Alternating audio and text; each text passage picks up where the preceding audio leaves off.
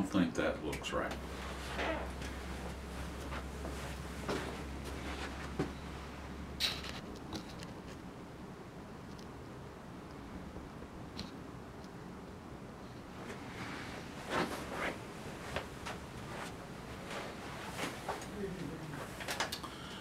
Good morning. I'm Tom Lunney, founder of American Small Business Centers. Today we're going to talk about capability statements.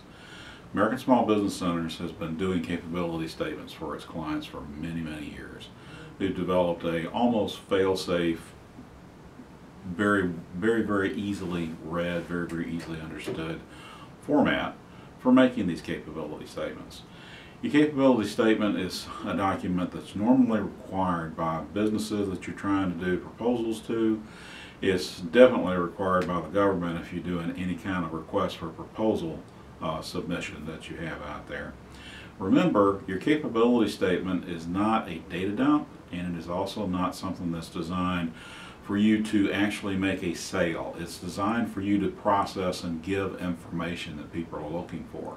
It needs to be very simple, it needs to be very clean, it needs to be it needs to have the data in it that people are looking for and not a lot of other spurious salesy smooth talk type items okay?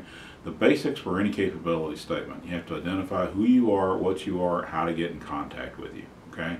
A lot of people actually don't put that on there for some strange reason. I'm not exactly sure why.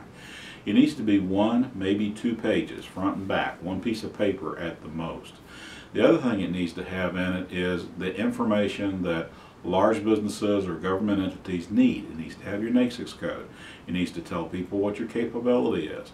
It needs to have anything in there would be that would be kind of a product code. It needs to have anything in there that would be a certification, hub HubZone, minority owned business, woman owned business, anything like that. And it needs to be in a very easily scannable, findable format. You can put things in there such as pictures of things that you have built. I have a steel company. We put pictures of the steel fabrication they had done in there. Um, I have a, um, a, a, paper company that we use.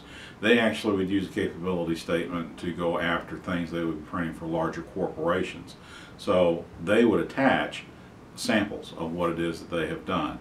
But they had to have in there all the different things that they did for making printed products and how they did it, the machinery that they had, because that's what people are looking for, okay?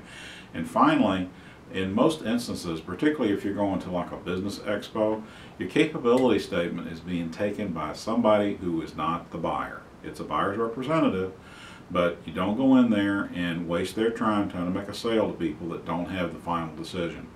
You go in there, you ask, here's my information, whom should I get in contact with in your organization to follow this up or pursue this further? And that's it.